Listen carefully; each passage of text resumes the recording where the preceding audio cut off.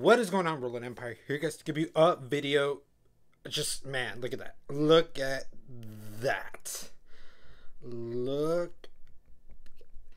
It, this is a countdown to um, Godzilla versus King Kong coming out. I just figured let me give myself uh, the list, you know, see what I thought of the installments that leads up to this. You know, so in a sense, this is like my ranking, you know. I'm going to do one of my rankings that I like. But I'm just to do it in my style, okay? Like in a way it's to still line up what is my best, like my favorite, you know, of the franchise so far, but I'm to start out with just talking about the first one with Garrett, uh, Garrett Edwards. That one I get what was going through with the mindset and the whole Jaws technique. I understand the Jaws technique, and I like that appreciation of how he treated Godzilla and all. It's just like what everything was said. Like the characters could have been better. Bryan Cranston was the best part, given the actor. The actor really being a good actor, he was the best part. And then a lot of it was focused with Aaron Taylor Johnson. He is, you know, could be a good actor when he can.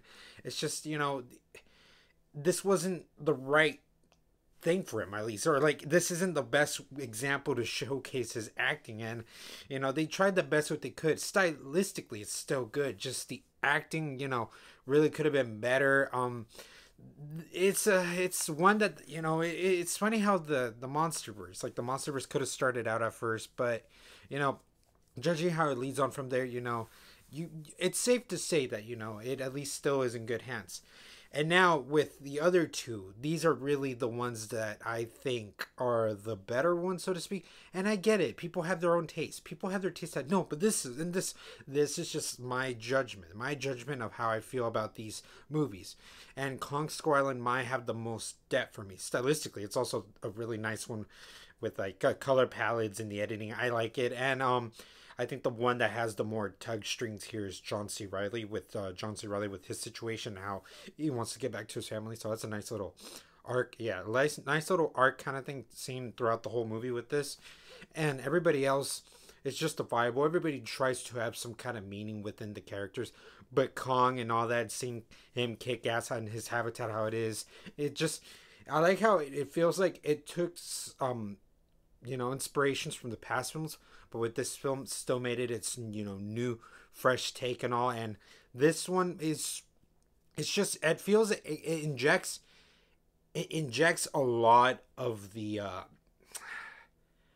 the humor the, the the humanity i guess the humanity in a way and i i like how it just it, it how it takes us through the journey how it, it takes us through from seeing the humans, seeing what Kong is, seeing how the humans deal with it. I find that very um, entertaining. I find it very fun for this kind of film. Now, Godzilla King of the Monsters, that is kind of like an opposite of what Garrett tried to do with this one now. With this one, it shows that like Garrett had, you know, Godzilla and everybody hiding until like the last 20 minutes. In this one, you get it like halfway through the first act already. You see everything go down. The humans still have, a, you know, a case where like you know they could be well better developed. But looking at it again looking at it how how I, I you know i can you know just enjoy it you know i had i wanted to have a little bit more of a re, like a reminder. The the plot the story isn't that bad. It's it it's just the bible where you're like you, you care enough where like if the actors good actors good actors that they get you know this uh, vera farmiga kyle chandler and all they do the best they can what they have and you can see that. You can see that if you under, intellect intellectualize at least what the filmmaking was trying to go for.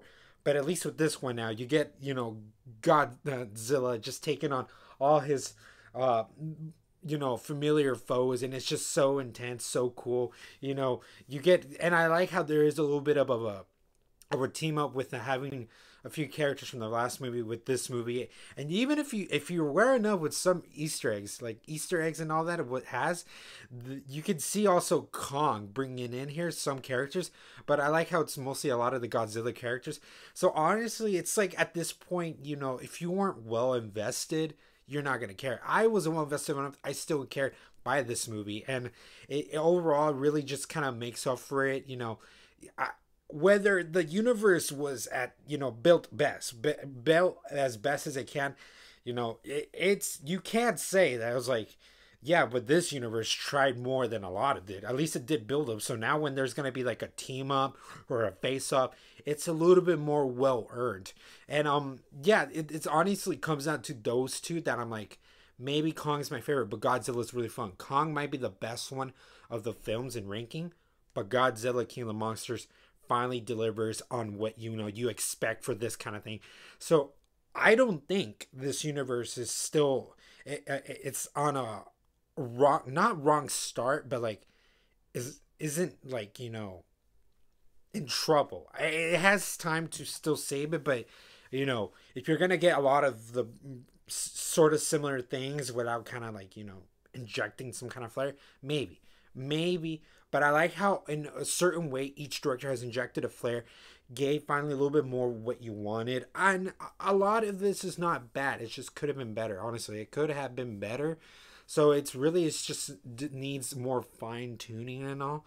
But out of all these, there's still certain things you like. There's certain things you could really just enjoy of this franchise. I like that they do give him a, lot of um just emotional more than I think, but it's still not the best. It's like now it's really for me in the middle. Now, especially seeing the last two, seeing the last two very familiar, uh, fresh in my mind, they do give enough for you to like finally do care, but it's just it could be better. But you know where you're here for, and just seeing this how it goes down, guys. And um, I'm curious to know now what you know what's going to be the the battle. Who's going to be winning?